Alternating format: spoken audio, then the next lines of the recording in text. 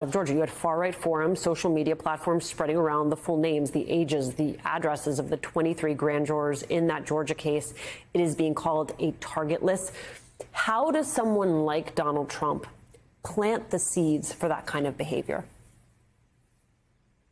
Well, Trump is a chaos agent and he welcomes violence, particularly violence that benefits him.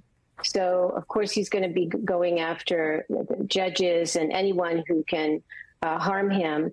And what he's doing when he issues the threats, like, you know, if you go after me, I'm coming after you, he's setting an example, something autocrats are very good at. He's giving others permission to uh, take his words and do what they must uh, in their minds. And indeed, this woman uh, who you know threatened to uh, threatened the judge uh, said she's a kind of a leader cult follower, and she said, you know, if anybody goes after Trump, I'm going to kill them.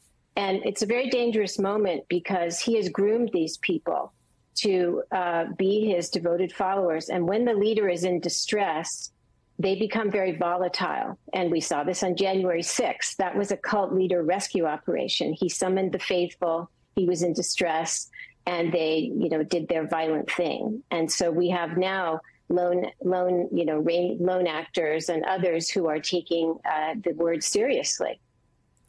I want you to take a listen to what Georgia election official Gabriel Sterling said back in 2020, calling out Trump, calling out Republicans for their silence after election officials faced death threats amid all of the election pushback. Take a listen. This is elections. This is the backbone of democracy. And all of you who have not said a damn word are complicit in this. Death threats, physical threats, intimidation, it's too much. It's not right. They've lost the moral high ground to claim that it is.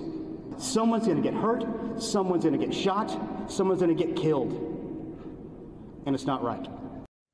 Clint, that was December 2020, one month before the January 6th attack on the Capitol. Talk us through why these threats against those trying to hold Trump accountable are still so relevant today and how institutions like the FBI are working to prevent actual violence from happening? Well, it's remarkable looking at the date of that. Uh, just a month later, we saw the January 6th insurrection, and there was, you know, widespread violence on that day. Fast forward now, instead of seeing these sort of group mobilizations like we do in January 6, what we see is what we call stochastic terrorism. We know what the target is. It might be jurors that's leaked online in Georgia. It could be a judge um, that's trying a case in Washington, D.C., but we don't know who the attackers are necessarily.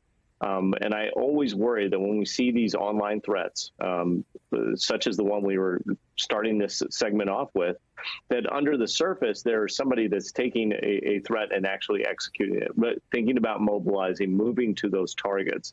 That's very difficult to defend against. Imagine, you know, going to Georgia, having to focus on 23 jurors, then going to D.C., trying to protect uh, a legal process there, another one in Florida it can become very taxing and exhausting on law enforcement to coordinate all of those threats and try and detect them.